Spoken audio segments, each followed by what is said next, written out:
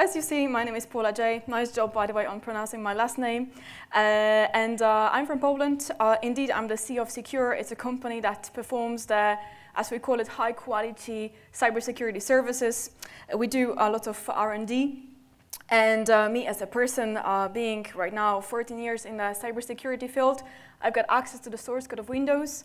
That's something that technically Microsoft gave me because apparently they trust me. I don't know, that's their decision. I'm just kidding, of course. Uh, I have access to like 99%. We still do a lot of R&D in the Microsoft code, and um, we don't have access to this 100%, and that's the most juicy part. So uh, yeah, let me share with you a couple of things. Uh, let's just jump immediately to the field, uh, since we've got only 45 minutes, and forensic, it's a subject that could last for the month. So uh, just a couple of words. Here's my Twitter, our blog, cqureacademy.com is the one after which five minutes before the presentation, my team is publishing the slides and tools that you're going to see during this presentation. So after you finish and leave the room, check it out. It's there. Yeah, it's hot and fresh. And also, um, welcome back if you've seen my presentations already.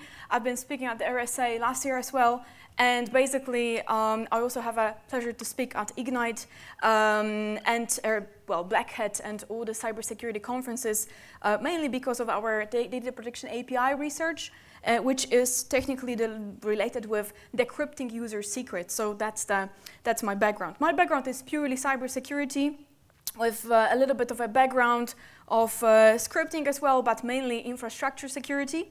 And what I would like to talk about today it's anything interesting that you can find out in the infrastructure after the situation, after the attack, maybe, uh, so that it's not obvious, but it's definitely worth to look at.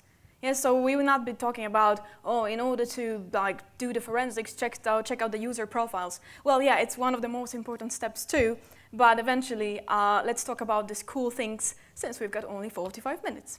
Before we jump to the subject, um, one story uh, before we start. And that story actually is related with one of our customers. And uh, it's literally that one of our customers called me and they were like, okay, Paula, so we have to have you on site at our, one of our factory premises pretty much immediately. That's the first thing. Second, uh, we have a, like a problem because whole infrastructure went down. We cannot authenticate anywhere.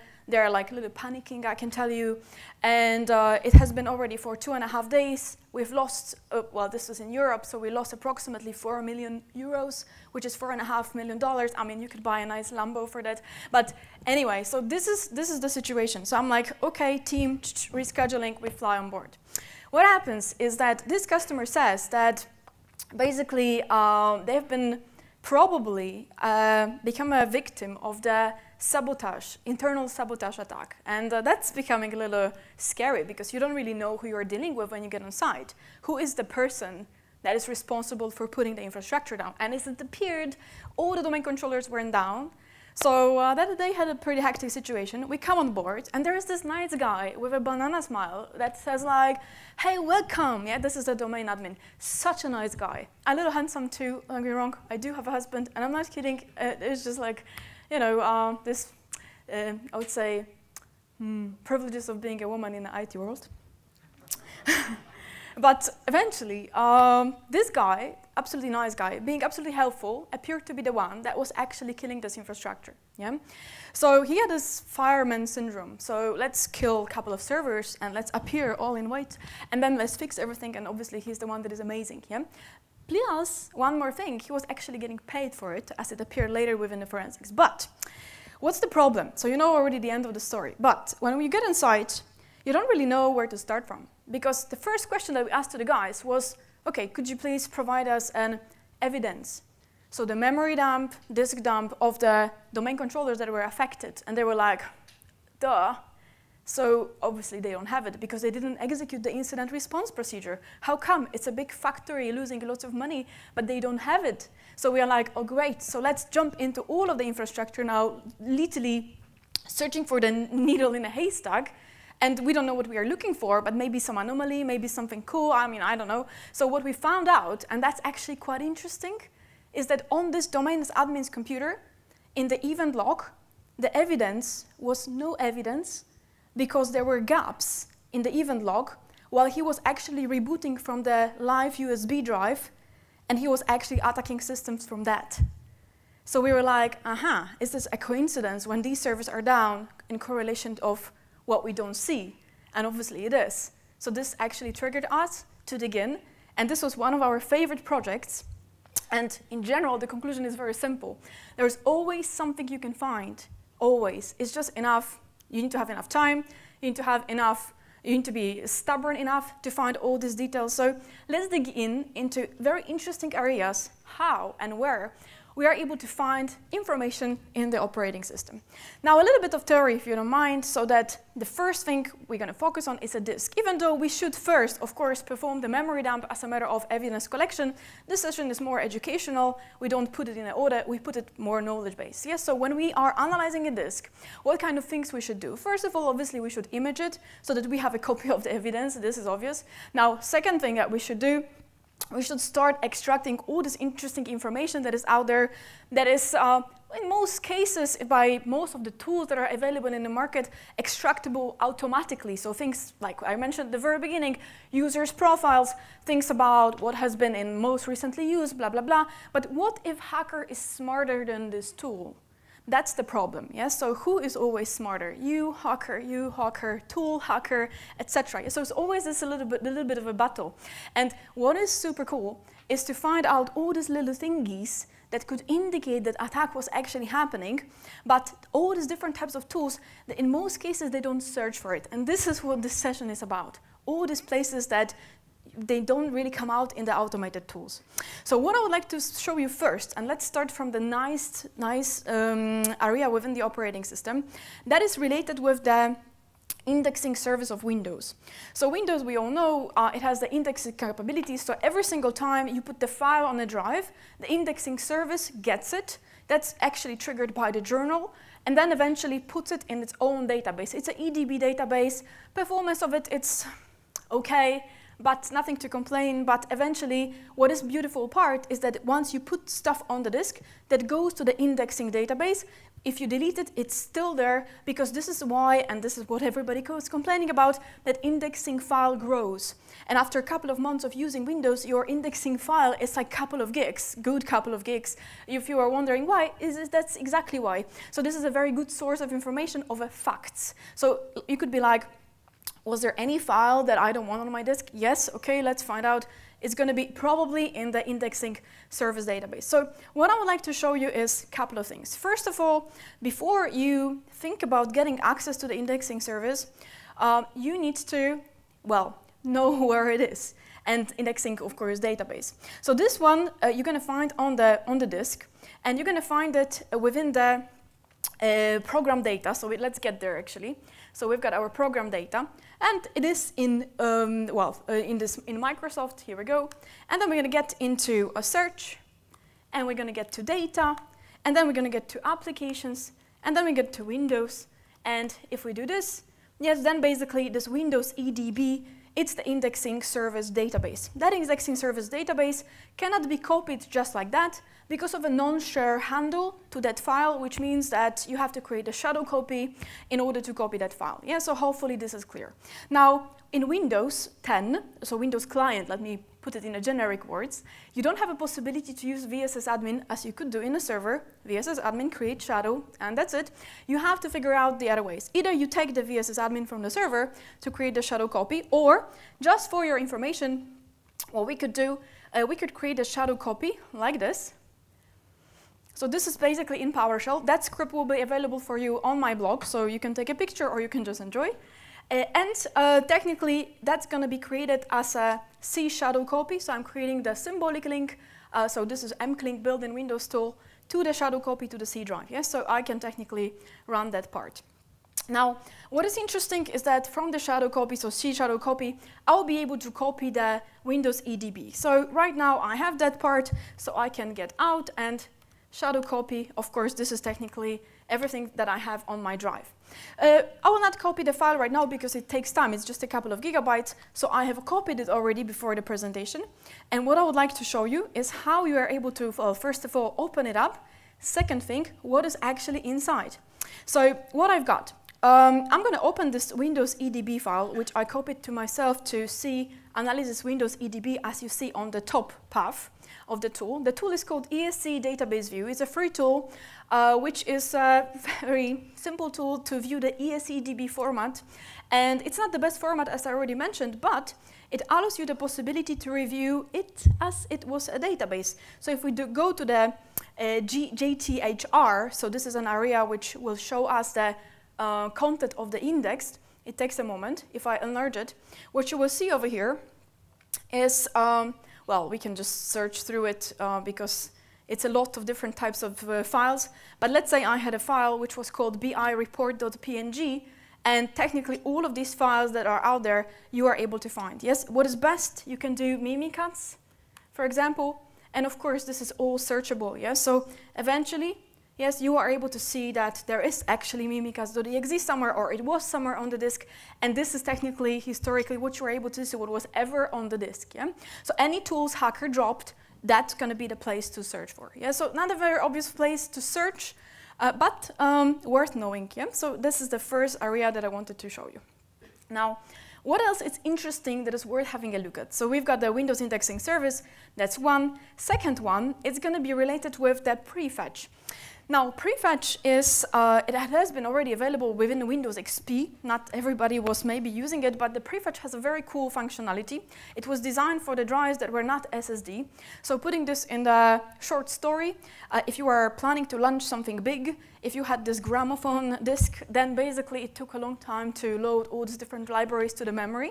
So within the SSD is not a problem, but the prefetch, what it did, it collected the history of anything that you were doing, and then if you were launching, for example, Photoshop at 8 a.m., then before you even thought about it, it actually loaded a bunch of files to the memory already so that it's enough that you click and then everything is in the memory already. Yeah? So prefetch is still there. It's in most systems, I guess, for you, it's going to be disabled. You can enable it in a registry. We always recommend enabling it. It actually saved once our customer from specifying where the ransomware came from by the prefetch. And this is why, and that's why, I would like to recommend using prefetch just like that as a side solution to support you in a case of forensics when something bad happens. Yeah? So let me show you how prefetch works and what it actually gives you. So prefetch itself, let's go to Windows prefetch. And if we do for the prefetch files, contains the PF files. Yeah? So these PF files um, and this date over here indicates what was the last time I was actually editing it, opening it, etc. Yeah? So if I, for example, launched, let's say, um, Zoomit, yes, this was basically today. Uh, that's why I'm enlarging uh, your images. So this is technically, as we can see, this is at 11 p.m. This is my time in, in my country. And eventually you are able to spot that this was the last time some person ran it. So how, do we, can, how can we use it basically for the forensic? Here's the thing. So what our team did, we wrote the tool, and by the way, uh, just to give you the concept, uh, we, I'm not advertising it. It's just useful. We share tools for free, so you can use them as you want. Uh, our tool, our team wrote over 200 hacking tools or forensic tools as well. So you can pretty much download most of them on the blog, uh, within the blog post. This is one of the tools that is really nice because in Windows 10, um, the prefetch structure changed. So if you're going to use some tools from the Windows 8, 8.1, etc., 7 for the prefetch, that will not work because Windows 10 implemented compression over prefetch structure. So that's why the tool is actually quite nice. Yeah? So most of the old tools will just fail. So how does the tool work? So CQ prefetch parser, that's the name of the tool. It's written by our developer, Michael, and it allows us to specify, in this particular case, well, we're going to just use, or we could use slash f or minus f file. And I have already prepared the prefetch notepad file just to show you how files look inside. And I'm going to do minus a for analysis so that I'm able to uh, pretty much analyze of what's going on. Just for the enlargement, you can see the structure of the command. Yeah? Now, what it will show me is something that is not really user dependent, but system dependent. So let's have a look. So if I do minus A for the analysis, that nice output shows me, and let me go a little bit to the top. Here we go. All the possible runs that I had for that version of Notepad. Yeah, so whatever that was, if you don't know the executable, then you can see like, oh, it was running only once. Yeah, if, if it's something commonly used, then you probably run it a couple of times. So this is how we spotted on one of the machines at the customer side where the ransomware came from, because then you were like analyzing prefetches among the workstations and you were like, okay, what's this? It has been running only once and it has been running yesterday, so let's find out. And that, that piece of file was actually using different types of DLLs. So you're able to see, because malware could be called Notepad.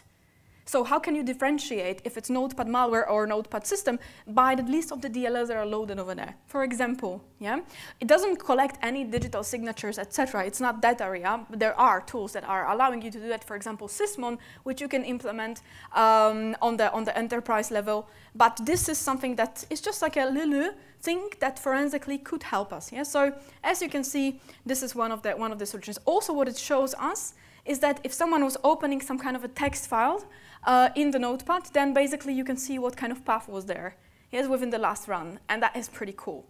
So a little bit of a unusual areas to search through. Now, here comes the best part. This is all, by the way, system-oriented. Now, within the system, within the disk, we've got also in Windows a very cool mechanism that is called automatic destinations.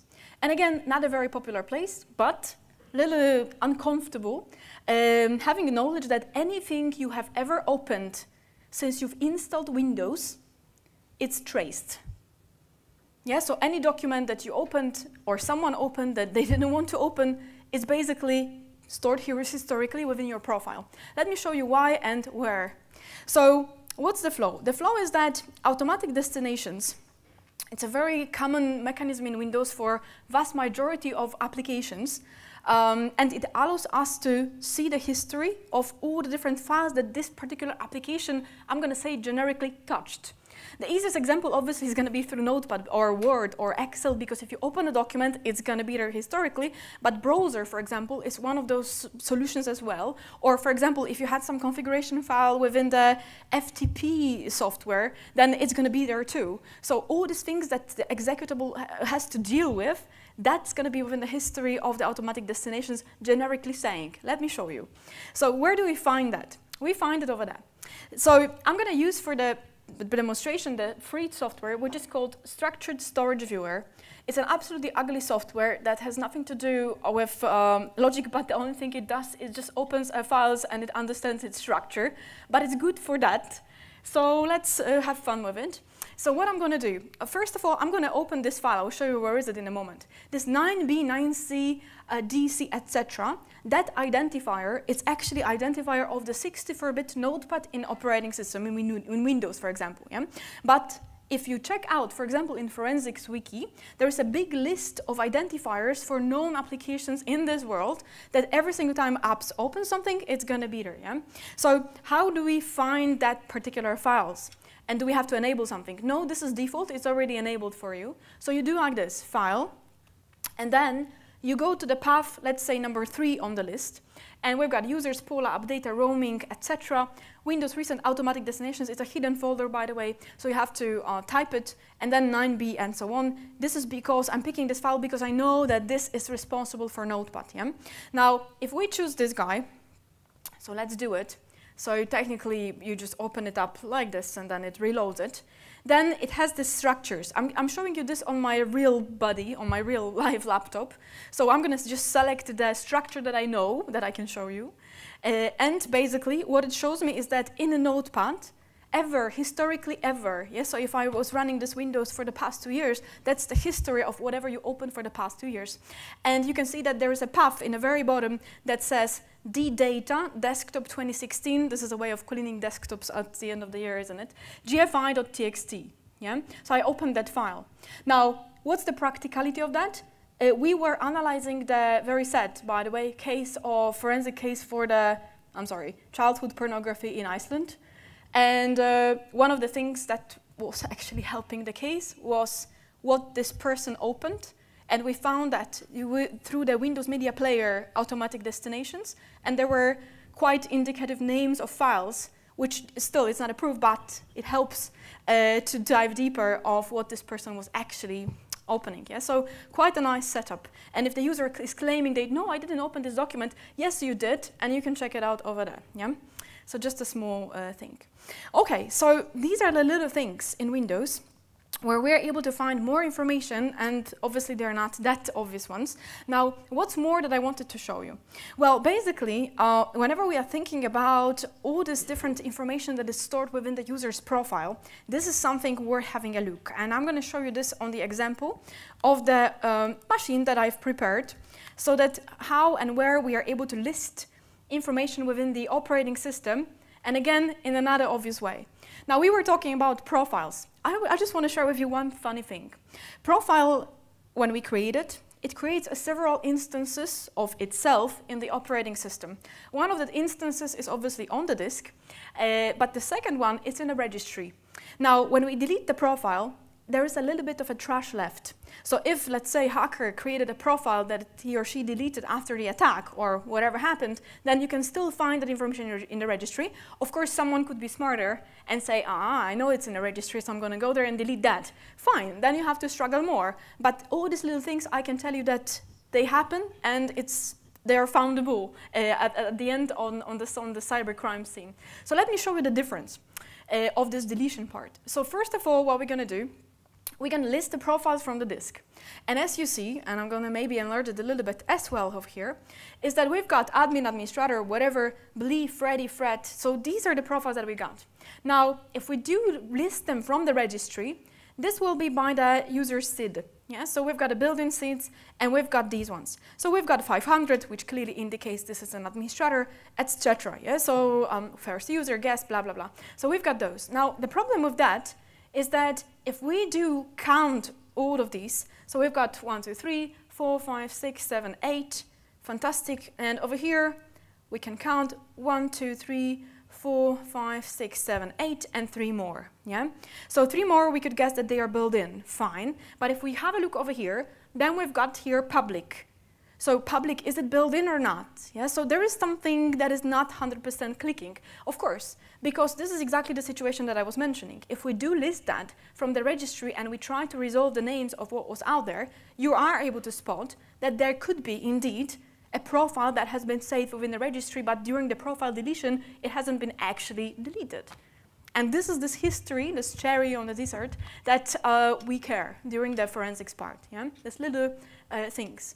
Okay, guys. So simple thing at the very end. Um, whenever we have a look at the different types of areas we've got most recently used, so anything that application collects in order to help us to be um, feeling comfortable every single time we open Microsoft Word. Then you've got this list of the recently opened documents. It's just an application functionality. It's also very useful, but it has a problem. It's profile dependent. So if someone deletes the profile, then basically that's it. Unless, of course, you are performing the internal investigation, then it's useful. So it's worth knowing of what exists out there. And what I want to show you is something cool that is related with the cache of the terminal services. Now, terminal services, every single time you connect using MSTSC somewhere, you got the drop-down list, and you, can, you have different IP addresses or names that you have connected to. Yeah, that's something that is called MRU, most recently used. Now, someone could say, oh, I was this bad person connecting to the server, could I delete the most recently used so that people don't see where I was actually connecting from my cache? Totally you can do it, but there is a little bit of a problem. Not many people know that remote desktop connection actually has a cache. So if you ever like if you were ever like um, having the internet cafe somewhere, that's awesome, by the way, uh, because it shows lots of information where people were connecting to. Let me give you the context, okay? So let's dig in. So where's the cache? The cache is somewhere here. I'm going to open up the application, which is called, um, so this is our, let me just put this like this, CQ cache. Now, don't get me wrong, I'm not trying to be funny. It's really a gift from my husband. Uh, I celebrate a name's day. Uh, I don't know if you do that, like a birthday and a name's day. So it's a Paula's day, yeah? So when there is a Paula's day, I expect flowers and gifts. And uh, my husband is uh, also working in our company. I'm the boss of the company and he works for me, which is perfect. And, uh, and he gave me this gift. And uh, it's the most ugly gift ever, but it's actually quite charming because it's functional. So let's have a look. So uh, we've got users, administrator, or whatever user, update a local Microsoft terminal server client cache. Everybody has this little cache file. these cache files, they, they, they wrap themselves in a packages of 100 megabytes. So you can have many if you are really intense on remote desktop services. This one is relatively small, but it doesn't matter, open. So what we're going to do, we're going to decode it. Now, depending on the remote desktop client version, uh, that is quite cool because um, every single time you connect to the server, what happens, and RDP is a very cool protocol, you download a picture of what you see.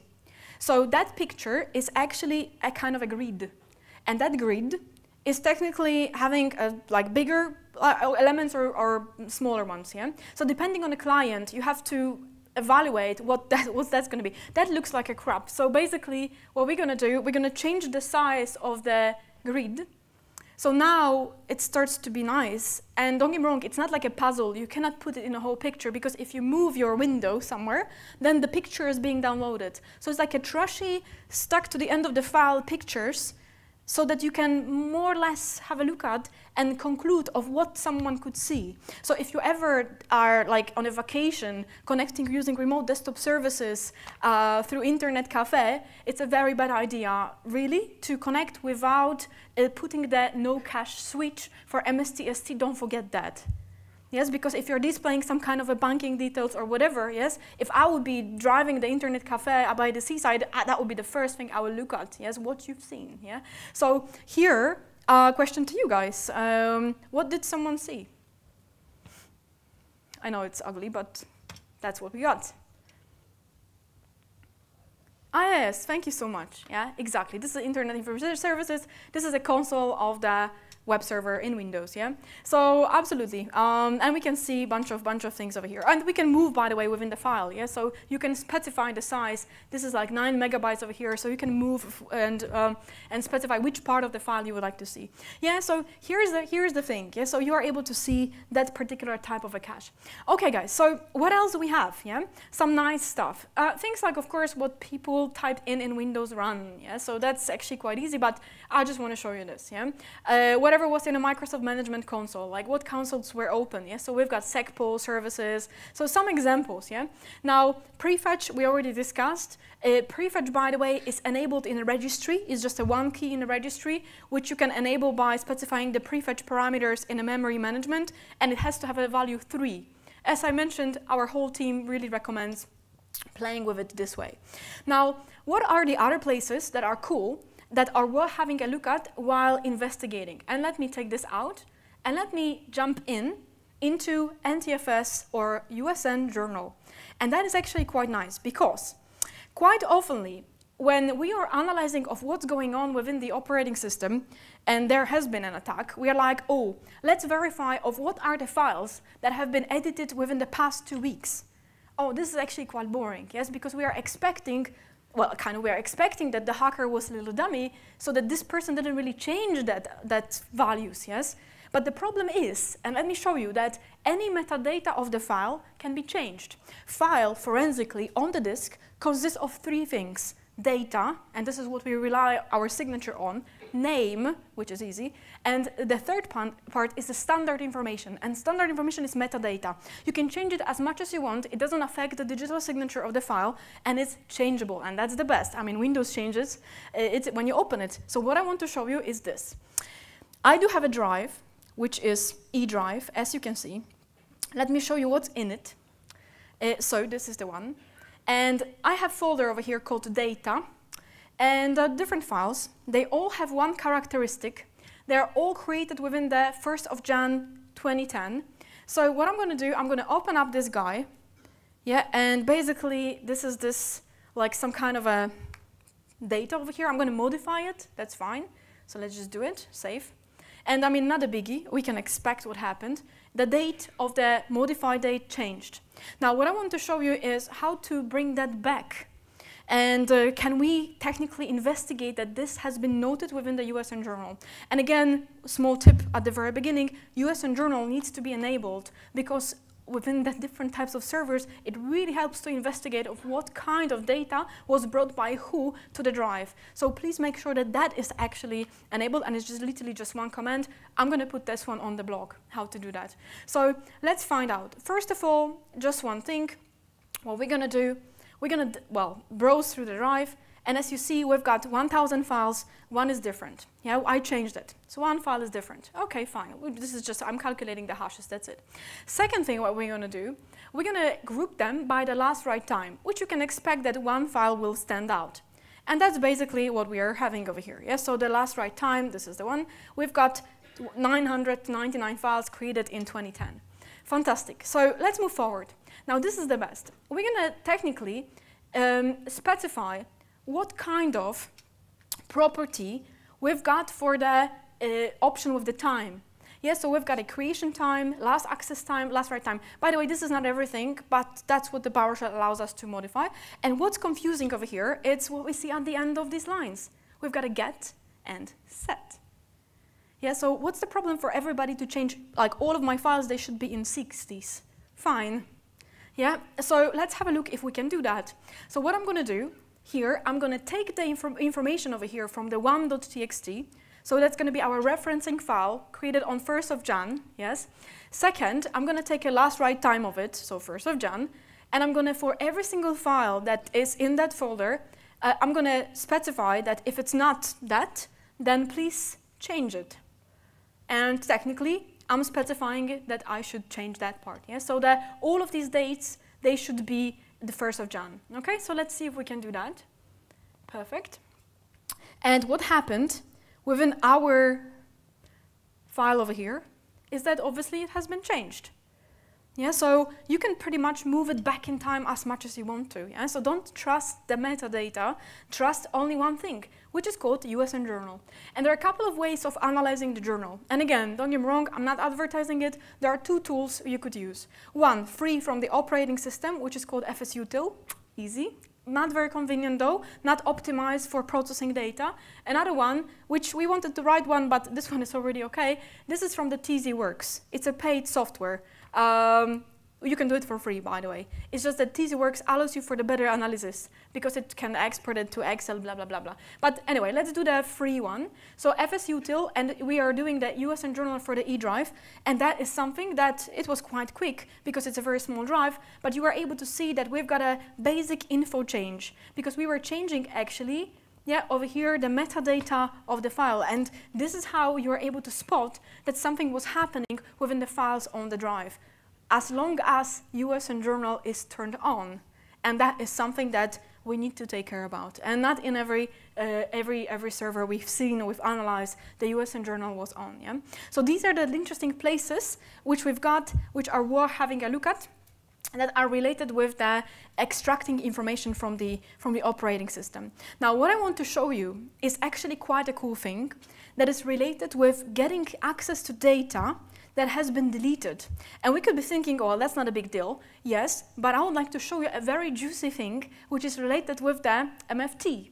And MFT uh, can contain data, and this is pretty much what we're going to be talking about, okay? So let me explain, of course, all the different types of, uh, I'll call it file level games. So if you have a small chunk of data, can you hide it somewhere? Uh, even though you format the drive? Answer is yes, you can.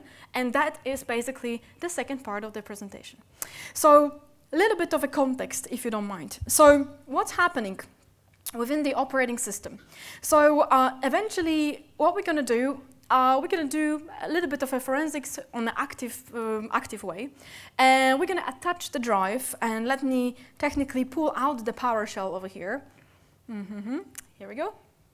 And uh, so we've got that. And we're going to attach the drive and we're going to do it read-only. Yeah. So eventually, that particular drive should be read-only because for that particular analysis, we don't want any type of a, a modification of the drive. It's quite straightforward.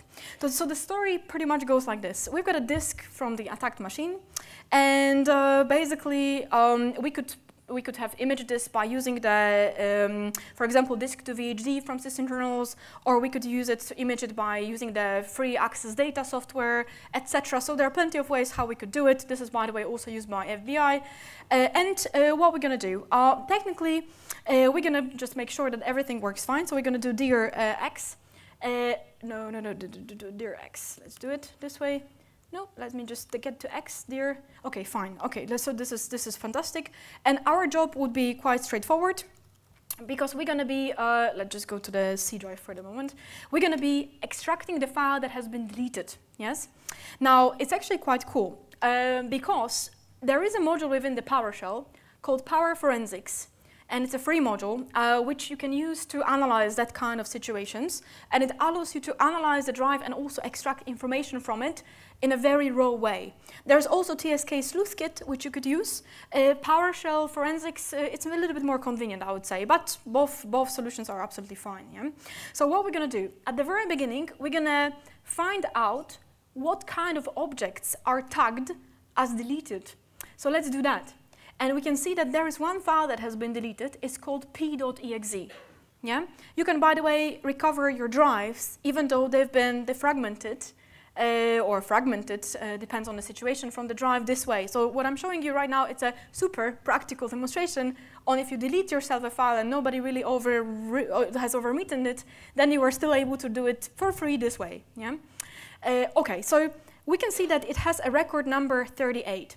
This is very cute because record number, it's like, what does it mean? In, I, in Linux, it's called inode. In Windows, by the way, it's also called inode. So this is pretty much the indexing number of the file on the drive. So we've got one, two, three, four, five, etc. Yeah? So technically in Windows, we've got tens of thousands of files like that. This is pretty much a small drive, that's why it's so small. Yeah? So we can get and set up the variable fr for the uh, index 38, and we can check out what kind of attributes we've got. And remember, guys, I said at the very beginning that, well, in the middle, that we've got three attributes of the file on the disk. Standard information, name, and data. This is basically data that you can see over here. Let me enlarge this, yeah?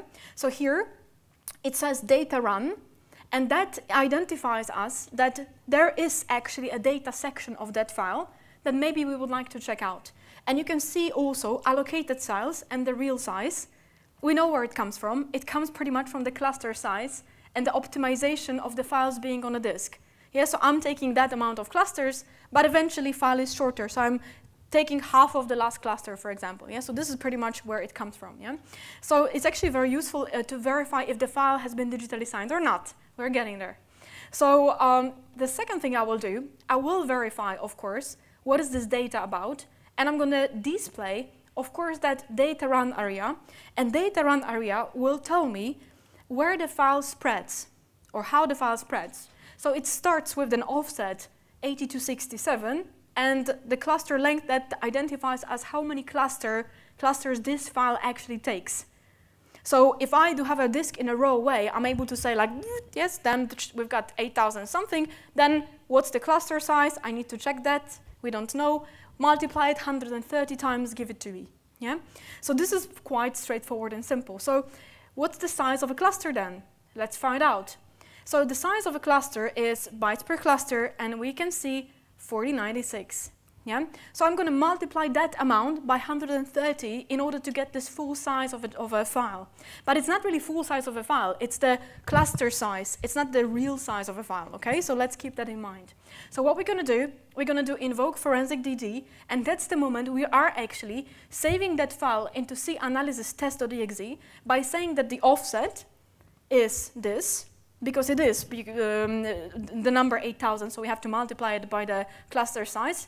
And the block size we are actually saving, it's the 130 multiplied by 4096. So let's take that file out. Fantastic. So if you're wondering of what is this, let's just get to the C analysis, yeah, because we already, uh, for real, mm, got access to this file. So we've got, this is my analysis folder, so I got like lots of different interesting trash over here. And uh, let's find out what is this. And as you see, there is this test.exe. And uh, this is what?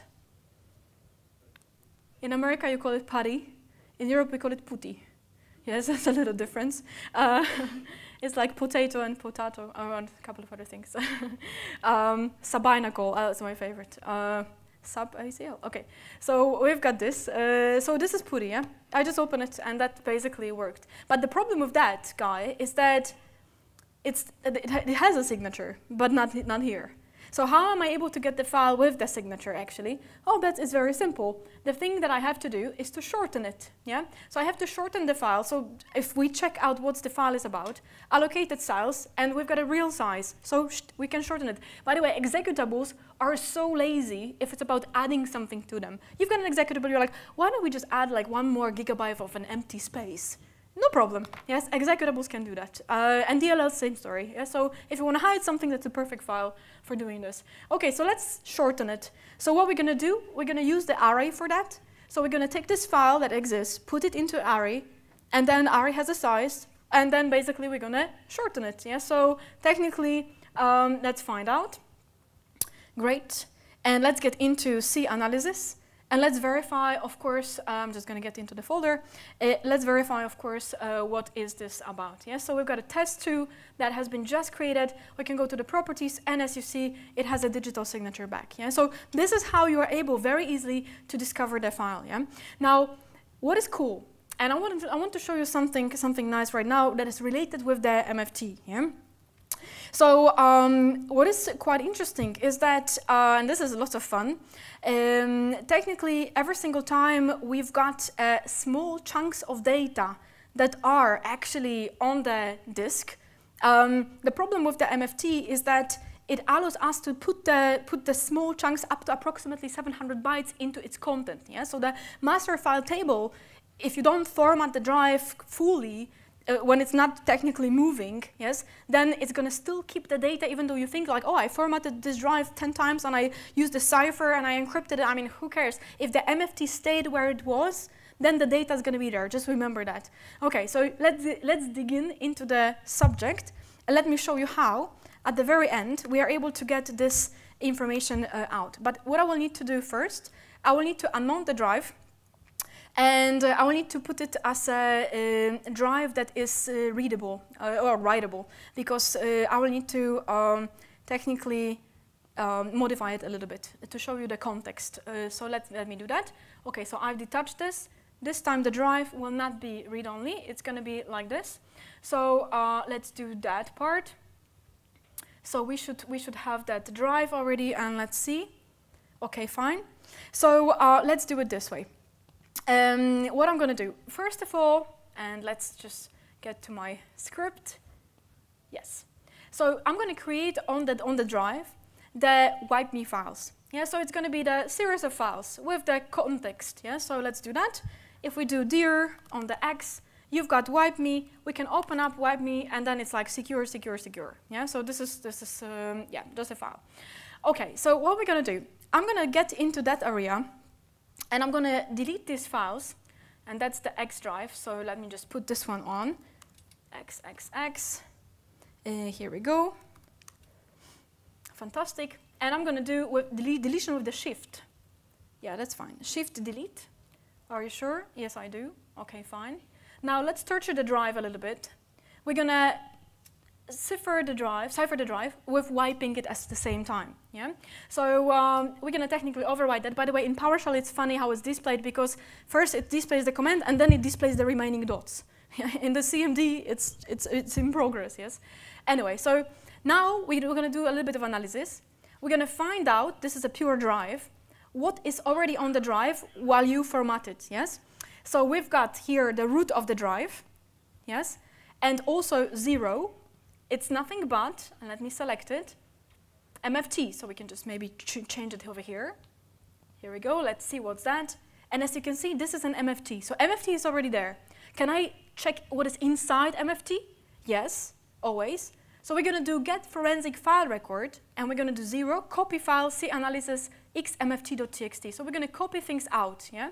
So let's do it. And let's technically open up that particular file, I'm curious too, of what we got inside. So we're going to get into C analysis. We've got the CXMFT, and it's a mess, I agree. But that's the beauty of the MFT, that the content of the small files below 700 bytes are there. Don't forget that, yes? If you have like a passwords.txt little file, I mean, just kidding, of course, but I mean, who knows? Or someone had it during the attack, and deleted everything, then check out over there because maybe there's going to be something out there waiting for you to be, to be discovered. Small thing, but uh, can make us happy one day because maybe there can be some a little bit of more traces uh, of what's going on within the, within the operating system. Yeah? So this is the, this is the story. Now, um, in summary, what is important to say is, is of course that MFT occupies a certain space on the drive and unless, of course, you, um, you don't do the full format of the drive, it's where it is. So if you do wipe, override, or whatever, then the MFT is not moving. And that is really the key uh, thing that I wanted to uh, show you today. Okay, guys, so this is a little bit of what's going on within the forensics of the operating system. What are the conclusions at the very end? Well, absolutely, make sure that anything that we've mentioned, so prefetch, USN, etc., is enabled. It doesn't hurt, it doesn't impact performance. I mean, we are not living 15 years ago where we are like, oh, does it impact Of course it doesn't. We have such a great operating systems configurations that uh, really enabling USN journal, which is a quite a normal thing to enable, it's not uh, painful. Uh, prefetch as one of the options, unless you have a better process tracking uh, possibility. Things like Sysmon, it's, as I already mentioned, it's pretty amazing and it's free. Uh, at the same time, working nicely, integrating with Splunk, etc. So uh, with OMS, so so it's a pretty nice solution solution. Uh, first of all, we have to always image the data before we play with it. I was already mentioning with it. As you could see, I was doing the first analysis of the drive with the read-only attached drive. This is the practice that we should have because we don't want that to affect our output incident response procedure using the story at the very beginning that I shared with you of our customer. It's something that we need to think about. If you don't have it yet, maybe you have tested it, maybe not. This is something that we see across the whole world that our customers are not really having. And uh, we've got, we are traveling pretty much all over. And at the very end, what is important to know is sometimes hacker can be smarter, sometimes we can be smarter. And the more time you spend, the more you're going to dig in, Question is, of course, how much time do we have? One of our customers, not really long time ago, had a whole domain controller and the whole domain controllers, sorry, uh, compromised. Yes, it's actually an anti-fraud uh, organization on the country level. Uh, imagine, I mean, it's, it's, it's a funny situation. If funny, of course, not funny, yeah? but, um, but what happened is that um, all the banks in that country report to that customer, yeah? And their whole domain has been compromised. What would you do? Just a thought. You don't answer, but what would you do if your domain has been compromised? It's a pretty messy situation. We could be like, hmm, depends how, money, how much money and time we've got. Totally, and that is probably something to guide us to the answer, but something to, to think about at the end. And uh, hopefully you like the presentation. Don't forget uh, to dig into the blog. All the tools and the presentation should be already there. Uh, my team is always with me, so it's good to, good to have that. Uh, it's cqureacademy.com uh, where you can download, of course, all the things. There's lots of free content, um, lots of videos, lots of like ways how to hack things and so on. Uh, so this is a little bit of a, a setup. And uh, if you would like to get a little bit of a challenge, we're always inviting everybody to fill up the quiz. Again, it's free. We are passionate people. 25 questions. There are a couple of thousand people that already answered. Uh, 25 questions average in cybersecurity is 13, which is disgusting. So hopefully after this presentation, uh, you're going to rise the average. Thank you so much.